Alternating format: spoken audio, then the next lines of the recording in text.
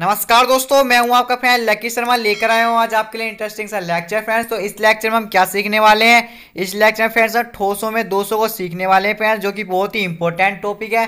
Friends important topic इसलिए क्योंकि friends अधिकतर जो स्टूडेंट्स होते हैं ना, उनको क्या कन्फ्यूज़न रहता है? उनको कन्फ्यूज़न ये रहता है कि बिंदु दोष क्या होता है? रस समीकरण दोष क्या होता है?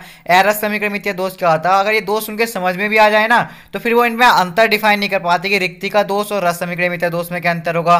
धातु अधिकता दोष क्या होगा? एरस समीकरण मित्य दोष क्या होगा? और रेखीय दोष और बिंदु दोष में क्या अंतर होगा फ्रेंड्स तो इसलिए फ्रेंड्स आपको टेंशन लेने की बिल्कुल भी ज़रूरत नहीं है क्योंकि फ्रेंड्स आज मैं आपको ये सभी दोष क्लियर करा दूँगा। पहले सबसे पहले आप हमारे यूट्यूब चैनल को सब्सक्राइब कर ले और बेल आइकन को प्रेस कर ले। आइए फ्रेंड्स लेक्चर को शुरू करते हैं। तो फ्रेंड्स, है क्या दोष? दोष को फ्रेंड्स हमने दो भागों में बांटा, बिंदु दोष रेखीय दोष बिंदु दोष बिंदु दोष को फ्रेंड्स ने दो भागों में बांटा, रस समीकरण मित्य दोष एरस समीकरण मित्य दोष फ्रेंड्स टेंशन मतलब क्या होता है? सब बताने वाला हूँ आगे चल के, ठीक है? फिर रस समीकरण मित्य दोष को फ्रेंड्स ने चार दोषों में बांटा रिक्ति का दोष अंतराकाशी दोष शॉर्ट की दोष और फ्रेंकल दोष फ्रेंड्स एरस समीकरण मित्य दोष को फ्रेंड्स ने दो भागों में बांटा, धातु अधिकता दोष धातु न्यूनता दोष धातु अधिकता दोष को फ्रेंड्स ने दो भागों में बांटा, धनायन, आधिक्य रयन न्यूनतम फ्रेंड्स मैंने धातु न्यूनता दोष को फ्रेंड्स धनायन न्यूनतम या फिर रहन आधिक्य दो सौ बारह ठीक है फ्रेंड्स तो अब क्या करने वाले हैं फ्रेंड्स हम नेक्स्ट पेज पर क्या पढ़ेंगे फ्रेंड्स इन सबकी डेफिनेशन इनके बारे में सब चीज़ क्लियर करने वाले हैं। तो फ्रेंड्स, सबसे पहला जो हमारा हेडिंग है, वो है हमारा बिंदु दोष की। बिंदु दोष क्या होता है फ्रेंड्स?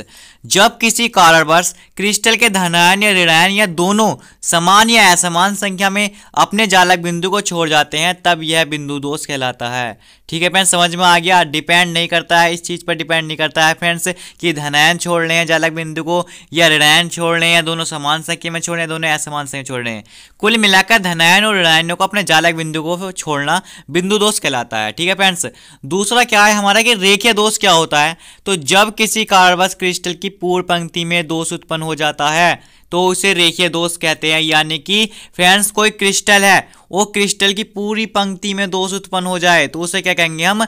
उसे कहेंगे रेखीय दोष, ठीक है? और इसे इंग्लिश में कहेंगे लाइनर डिफेक्ट। ठीक है फ्रेंड्स, बिंदु दोष, पॉइंट डिफेक्ट। पॉइंट डिफेक्ट और लाइनर डिफेक्ट दोनों को हमने अच्छे से समझ लिया है फ्रेंड्स। आगे चलते हैं। तो फ्रेंड्स आगे हमारा रस समीकरण मित्य दोष रस समीकरण मित्य दोष, दोनों दोषों को क्लियर करने वाले हैं, ठीक है फ्रेंड्स तो रस समीकरण मित्य दोष क्या होता है?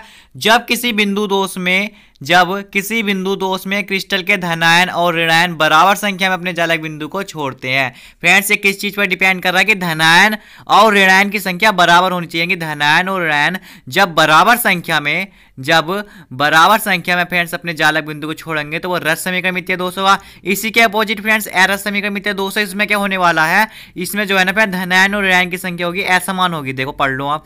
जब किसी बिंदु दोष में क्रिस्टल के धनायन और ऋणायन असमान संख्या में अपने जालक बिंदु को छोड़ते हैं तो उसे रस समीकरण मित्य दोष कहते हैं। फ्रेंड समझ में आ गया आपको, रस समीकरण मित्य दोष क्या होता है? धनायन और ऋणायन का बराबर संख्या में जालक बिंदु को छोड़ना और रस समीकरण मित्य दोष में हो गया फ्रेंड, धनायन और ऋणायन का असमान संख्या में अपने जालक बिंदु को छोड़ना। ठीक है फ्रेंड्स तो आगे चलते हैं। तो आगे फ्रेंड्स, हमारा रिक्ति का दोष और अंतराकाशी दोष फ्रेंड्स, दोनों को अच्छे से समझने वाले हैं। ध्यान से देखिए कि जब किसी जालक में जालक बिंदु रिक्त हो, अर्थात अवयवी कर निर्धारित स्थान से बाहर निकल जाए, फ्रेंड्स, देखो चित्र में दिखा रखा अभी अभी कर जो है, फ्रेंड्स, बाहर निकल गया है जालक बिंदु रिक्त हो गया है। तो फ्रेंड्स, उत्पन्न दोष कौन सा होता है? रिक्ति का दोष कहलाता है। इस दोष में पदार्थ का घनत्व कम हो जाता है। क्यों कम हो जाता है फ्रेंड्स क्योंकि वो जो होता है अभी वो बाहर निकल जाता है, उस क्रिस्टल में नहीं रहता है। तो इसलिए फ्रेंड्स रिक्ति का दोष क्या हो गया? जालक बिंदु का रिक्त होना ही रिक्ति का दोष कहलाता है। अब बात करते हैं कि अंतराकाशी दोष क्या होता है फ्रेंड्स तो क्रिस्टलीय संरचना में जब कुछ अवयवी कण अंतराकाशी स्थानों में चले जाते हैं फ्रेंड्स इसमें क्या है? जालक बिंदु तो रिक्त होगा, लेकिन वो अवयवी कण जो है फ्रेंड्स क्रिस्टल से बाहर नहीं जाएगा। वो अंतराकाशी स्थानों में चला जाएगा, जैसे चित्र में दिखा रखा है कि अंतराकाशी अवयवी कण यानी कि अंतराकाशी अंतराकाशी स्थानों में चला गया है वाला कण इसलिए मैंने इसे कह दिया है अंतराकाशी अवयवी कण तो फ्रेंड्स क्या डेफिनेशन हुई अंतराकाशी दोष की?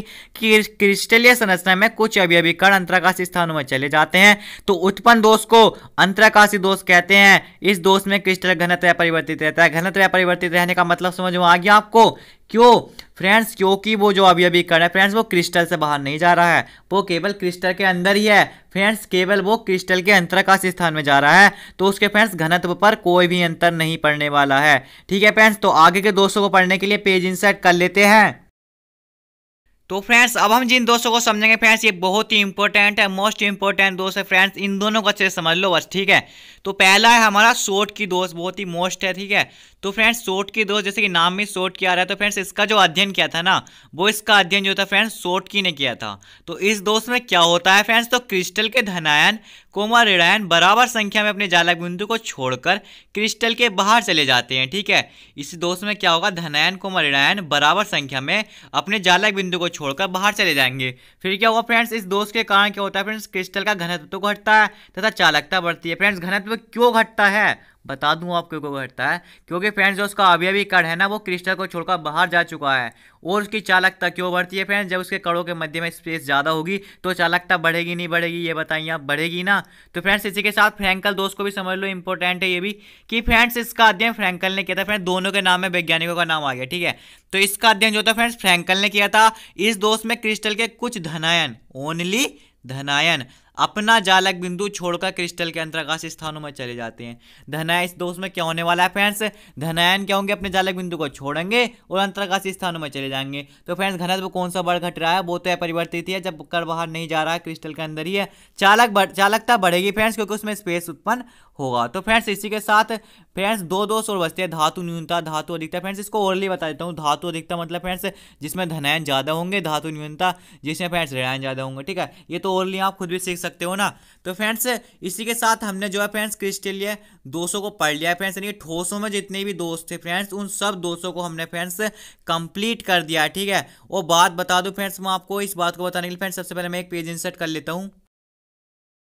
तो फ्रेंड्स, मैंने पेज इंसर्ट कर लिया। बात यह थी कि फ्रेंड्स, रिक्ति का दोष और अंतरकाशी दोष जो होंगे फ्रेंड्स, ये क्रिस्टलीय ठोस दोषों के अंतर्गत आएँगे, ठीक है? और शॉर्ट के दोष और फ्रेंकल दोस्त जो होंगे फ्रेंड्स क्रिस्टिले ठोसों में उत्पन्न दोस्त होंगे, ठीक है? तो इस प्रकार फ्रेंड्स, अब मैं फाइनली बता देता हूँ आपको फ्रेंड्स, हमने जो है फ्रेंड्स, ठोसों में दोषों को कंप्लीट कर लिया है। यदि फ्रेंड्स आपने हमारे इसके पिछले के लेक्चर नहीं देखे हैं फ्रेंड्स तो आप जाकर प्लेलिस्ट में लेक्चर्स देख सकते हैं, क्योंकि फ्रेंड्स आज ही हमने इस चैप्टर की थ्योरी कंप्लीट कर ली है, बिल्कुल कंप्लीट कर ली है, और इसकी एनसीईआरटी एक्सरसाइज ही फ्रेंड्स मैंने शुरू कर दी है। यदि फ्रेंड्स आप इसकी एनसीईआरटी एक्सरसाइज को सोल्व करना चाहते हैं तो फ्रेंड्स आप प्ले में जाकर chapter first chemistry class twelfth ठोस अवस्था की जो एनसीईआरटी है फ्रेंड्स इसकी अलग से प्लेलिस्ट बना रखी है मैंने। आप वहाँ पर जाकर इसके सभी numericals friends A to Z numericals मिलेंगे आपको वहाँ पर। तो फ्रेंड्स वहाँ पर जाकर आप इसके ए टू जेड न्यूमेरिकल्स को सीख सकते हैं। और यदि अभी तक फ्रेंड्स आपने हमारे यूट्यूब चैनल को सब्सक्राइब नहीं किया है फ्रेंड्स तो, तो सबसे पहले हमारे यूट्यूब चैनल को सब्सक्राइब कर लें फ्रेंड्स लाइक करें शेयर करें और कमेंट करें। Thank you friends